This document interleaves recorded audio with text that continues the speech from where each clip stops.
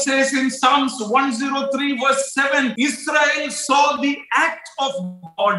Moses knew the way of God. നൂറ്റിമൂന്നാം സങ്കീർത്തനത്തിൽ നമ്മൾ ഇങ്ങനെ വായിക്കുന്നു ഇസ്രായേൽ ദൈവത്തിന്റെ പ്രവൃത്തിയെയും മോശ ദൈവത്തിന്റെ വഴിയെയും അറിഞ്ഞു ദൈവം ഒരു രീതിയിൽ പ്രവർത്തിക്കുന്ന രീതി ദൈവത്തിന്റെ അത്ഭുത വഴി അവന്റെ രീതികളെ മോശ തിരിച്ചറിഞ്ഞു That is why whenever a challenge came, Moses turned to God and not to the wisdom of man. അതുകൊണ്ടാണ് ഒരു പ്രതിസന്ധി വന്നപ്പോൾ ചെങ്കടലിന് മുമ്പിൽ വന്നപ്പോൾ മാനുഷികമായി അതിന് എന്ത് പരിഹാരമുണ്ടെന്നല്ല മോശ നോക്കിയത്. അവൻ ദൈവത്തിന്റെ വഴി ഇവിടെ എന്താ? അത്ഭുത വഴി എന്താ? എന്നാണ് മോശ തിരിഞ്ഞത്.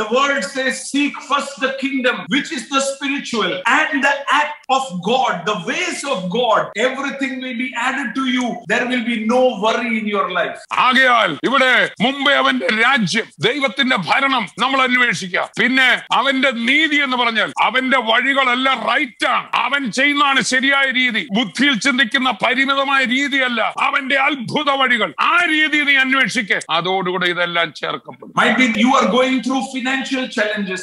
Might be you are going through challenges which is far beyond your imagination. I can tell you one thing. He is Lord of your life. He is Christ which is in you. You will never be shaken. You will never be a failure. You will prosper because his ways are higher than your ways. ഇന്നൊരു പക്ഷേ എന്നെ കേൾക്കുന്ന വ്യക്തികളെ യേശു നിങ്ങളുടെ അകത്തുണ്ട് ആ യേശുവിന്റെ വഴികൾ അപ്രമേയമായ വഴികളാണ് ആ കർത്താവിൽ ആശ്രയിക്കുന്ന ദൈവത്തിലെ ഇന്നൊരു പക്ഷേ ഭൗതിക മണ്ഡലത്തിൽ ഒരു പ്രതിസന്ധിയിലൂടെ സാമ്പത്തിക പ്രതിസന്ധിയിലൂടെ ആകാൻ പോകുന്നത് എന്നാൽ ദൈവത്തിന്റെ വഴികളിലേക്ക് ഒന്ന് തിരിഞ്ഞ് അത്ഭുതത്തിന്റെ വഴികളിലൂടെ അതേ പ്രതിസന്ധി നിന്റെ അത്ഭുതമാക്കി കർത്താവ് മാറ്റി.